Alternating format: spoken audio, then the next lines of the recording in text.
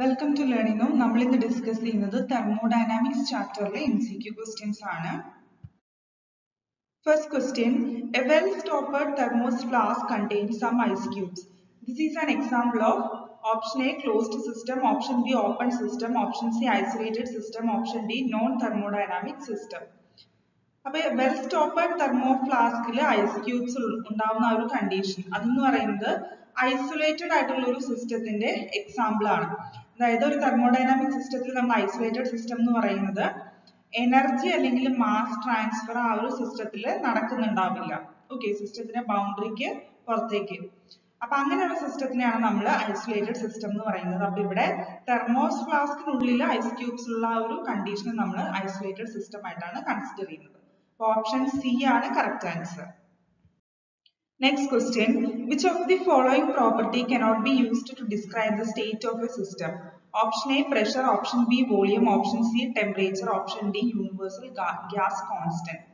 അപ്പൊ നമ്മൾ ഒരു തെർമോഡൈനാമിക് സിസ്റ്റത്തിന്റെ സ്റ്റേറ്റിനെ സ്പെസിഫൈ ചെയ്യാനായിട്ടാണ് നമ്മൾ സ്റ്റേറ്റ് ഫങ്ഷൻസ് യൂസ് ചെയ്യുന്നത്. ഓക്കെ അപ്പൊ മെയിൻ ആയിട്ട് വരുന്ന സ്റ്റേറ്റ് വേരിയബിൾ അല്ലെങ്കിൽ സ്റ്റേറ്റ് ഫങ്ഷൻസ് ഏതൊക്കെയാണ്?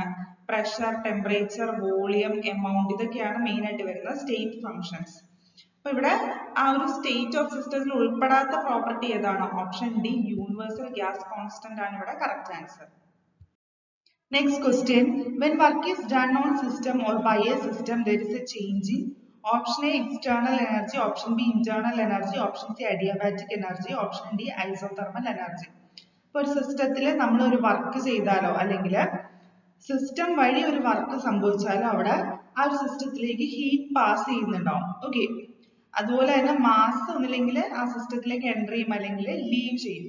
അപ്പൊ ടോട്ടൽ ആയിട്ട് നമ്മൾ പറയുകയാണെങ്കിൽ ആ സിസ്റ്റത്തിൽ change in internal energy occur ചെയ്യുന്നുണ്ട്.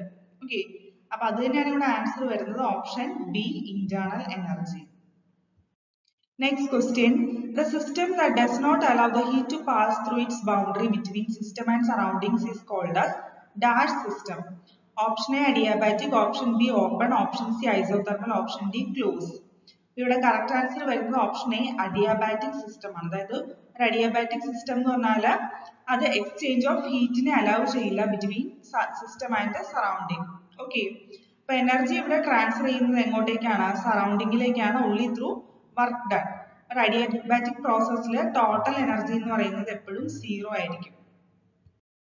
Next question. In an adiabatic process the work done is 50 kilojoule. What is its internal energy?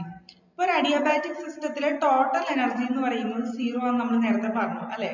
അപ്പൊ ഇന്റേണൽ എനർജി എന്ന് പറയുന്നത് equal to negative of work done ആയിരിക്കും. അതായത് sum of internal energy plus work done എന്ന് പറയുന്നത് എപ്പോഴും zero ആയിരിക്കും. Okay അപ്പൊ അങ്ങനെയാണെങ്കിൽ നമുക്ക് ഇന്റേണൽ എനർജിനെ നെഗറ്റീവ് ഓഫ് വർക്ക് ഡണ്ണിന് ഇക്വേറ്റ് ചെയ്യാം. അപ്പൊ ഇവിടെ work done fifty kilo joule ആണ് തന്നിട്ടുണ്ട്.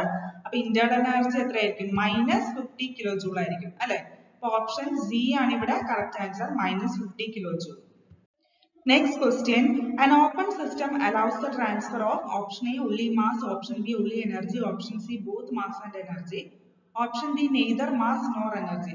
അപ്പോൾ ഒരു ഓപ്പൺ സിസ്റ്റം എന്ന് പറഞ്ഞാൽ അത് transfer of both mass and energy in സിസ്റ്റത്തിന് in to the system from സറൗണ്ടിങ്ങിനെ allow ചെയ്യുന്ന ഒരു ടൈപ്പ് ഓഫ് സിസ്റ്റം ആണ് ഇവിടെ കറക്റ്റ് ആൻസർ ഓപ്ഷൻ സി ആണ് both mass and energy Next question. The temperature of an object increases slowly, then the energy of that object.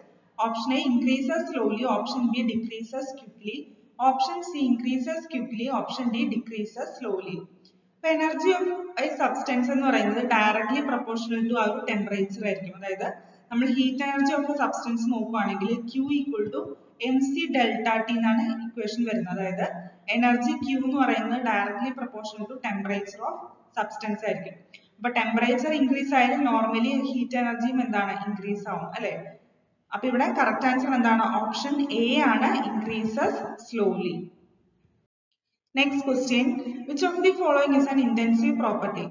Option A volume option B colour option C enthalpy, option D internal energy intensive property എന്ന് പറയുന്നത് ക്വാണ്ടിറ്റീനെയോ ഒബ്ജക്റ്റിന്റെ സൈസിനെയോ ഒന്നും തന്നെ depend ചെയ്യില്ല. മറിച്ച് extensive property എന്താണ്? ഒരു ഒബ്ജക്റ്റിന്റെ സൈസിനെ അതിന്റെ ക്വാണ്ടിറ്റിനെ ഒക്കെ ഡിപ്പെൻഡ് ചെയ്യും. ഇവിടെ നമുക്ക് തന്നിരിക്കുന്ന ഓപ്ഷൻസിൽ option A C and D അതായത് volume enthalpy and internal energy എന്താണ്? എക്സ്റ്റെൻസീവ് പ്രോപ്പർട്ടി ആണ് ഇത് മൂന്നും. ഇവിടെ ഇന്റൻസീവ് പ്രോപ്പർട്ടി വരുന്ന ഏത് മാത്രമേ ഉള്ളൂ? ഓപ്ഷൻ ബി കളർ മാത്രമേ ഉള്ളൂ. കറക്റ്റ് ആൻസർ ഇവിടെ. Next question the specific heat at constant pressure is given by the expression option A C V D Q by D T option B C P D Q by D T option C C V D Q D T option D C P D Q by D T അപ്പോൾ specific heat at constant പ്രഷറിന്റെ ഒരു expression വരുന്നത് ഇങ്ങനെയാണ്. C P equal to D Q by D T എന്നാണ് correct ആയിട്ടുള്ള answer അപ്പോൾ option B ആണ് correct answer C P equal to D Q by D T Next question. Work done by a system is taken to be option A positive, option B negative, option C zero, option D varies according to situation. അപ്പോൾ thermodynamic സിസ്റ്റത്തിൽ work is done by the system ആണെങ്കിൽ work done by adiabatic system W A D എന്ന് പറയുന്നത് negative ആയിരിക്കും. എന്തുകൊണ്ടാന്ന് പറഞ്ഞാൽ അവിടെ ആ ഒരു സിസ്റ്റത്തിന്റെ ഇന്റേണൽ എനർജി ഡിക്രീസ് ആവുകയാണ് ചെയ്യുന്നത്. അപ്പോൾ ഓപ്ഷൻ ബി നെഗറ്റീവ് ആണ് ഇവിടെ കറക്റ്റ് ആൻസർ സോ അപ്പോൾ ഇത്രയേ ഉള്ളൂ M C Q questions thank you